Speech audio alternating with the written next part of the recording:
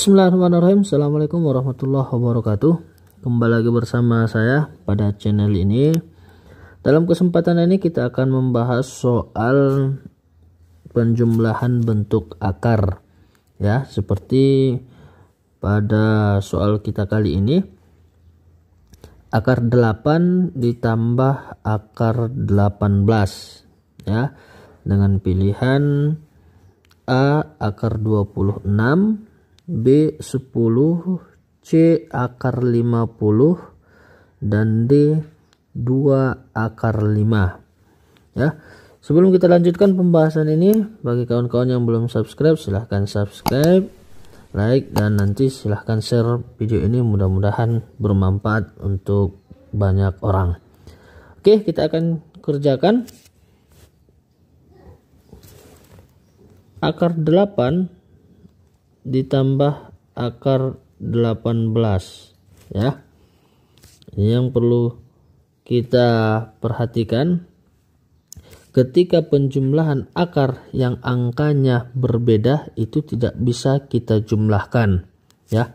Kita lihat ini 8 dan ini 18 ini tidak bisa kita jumlahkan. Jadi 8 tambah 8 itu 26 ya ini tidak bisa kita jumlahkan. Jadi bagaimana caranya? Caranya kita harus sederhanakan dulu akar 8 dan akar 18 ini.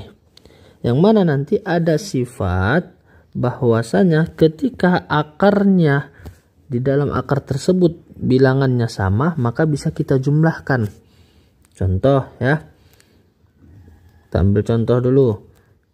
3 akar 2 ditambah 2 akar 2 ya. Akar 2 dengan akar 2 baru bisa kita jumlahkan. Berarti 3 tambah 2 itu 5 tinggal masukkan akarnya. Berarti jawaban 3 akar 2 ditambah 2 akar 2 hasilnya 5 akar 2 yang notabene nya akarnya ini harus sama. Ya. Ini dia. Oke kita lanjut bahas yang ini ya. Akar 8 ditambah akar 18 ini bisa kita sederhanakan akar 8 ini menjadi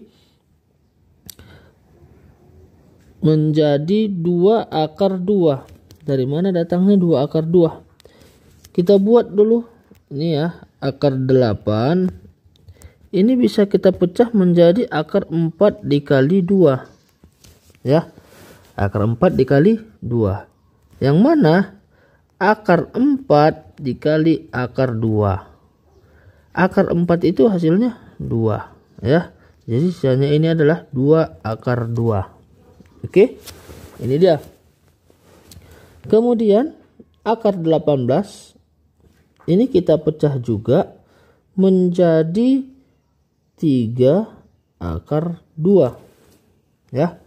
Dari mana juga? Akar 18 sama seperti mencari akar 8 akar 18 kita coba berarti ini 9 dikali 2 akar 9 dikali akar 2 akar 9 itu 3 berarti ini adalah 3 akar 2 oke. Tadi sifat kita bahwa setiap akarnya yang sama nilai akar yang sama itu bisa kita jumlahkan. Maka 2 akar 2 ditambah 3 akar 2 ini hasilnya adalah 5 akar 2 ya. Ini dia hasilnya kita lihat opsinya. 5 akar 2 tidak ada. Ya, yang ada akar 26, 10, akar 50 dan 2 akar 5. Oke. Kita coba ini 5 akar 2 ini kita buat kepersamaan lain ya. Kalau kita buat dalam bentuk akar semua, maka ini 5 ini kita masukkan dalam akar ya. Jadi 5 pangkat 2 dikali 2. 5 pangkat 2 itu hasilnya 25 dikali 2. Maka akar 25 kali 2 itu hasilnya akar 50. Ada jawabannya? Ada.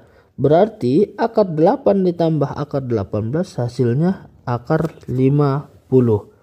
Ya, begitu cara mengerjakan penjumlahan bentuk akar ini. Kita coba soal yang lain ya dengan model yang sama.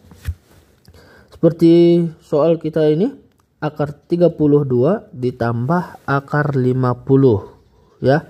Dengan pilihan yang ada akar 82 akar 162 akar 164 dan akar 324 ya.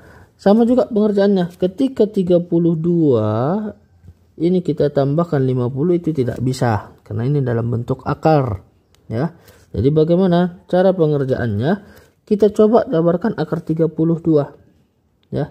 Akar 32 itu berarti 4 akar 2 ya.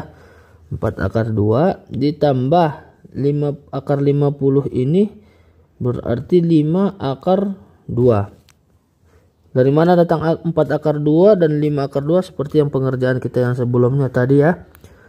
Jadi ketika bentuk akarnya sudah sama ini akar 2 ya dan akar 2 ini baru bisa kita jumlahkan ya.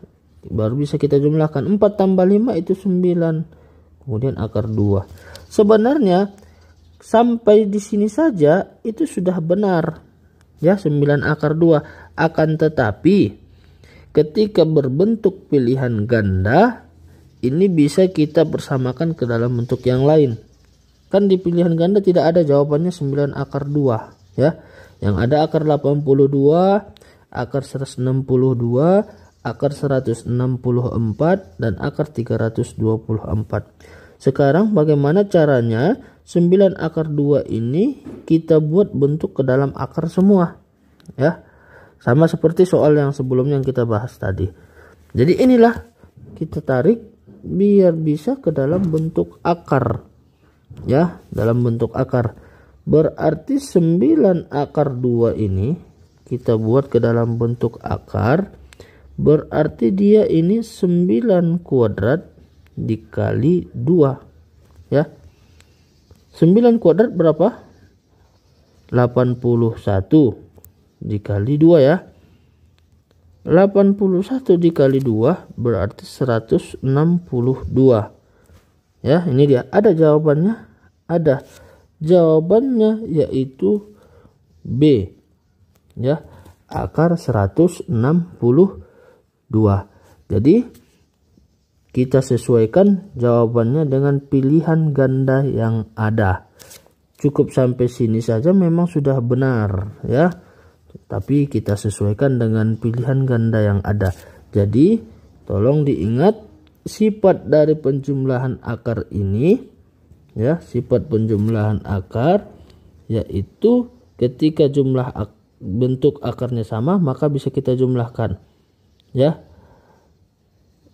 A akar B ditambah dan dikurang juga sebenarnya sama ya C akar B maka ini A plus minus C akar B. Ini sifatnya. Ya, ini yang perlu kita ingat biar lebih mudah dalam penjumlahan dan pengurangan bentuk akar. Ya, semoga bermanfaat.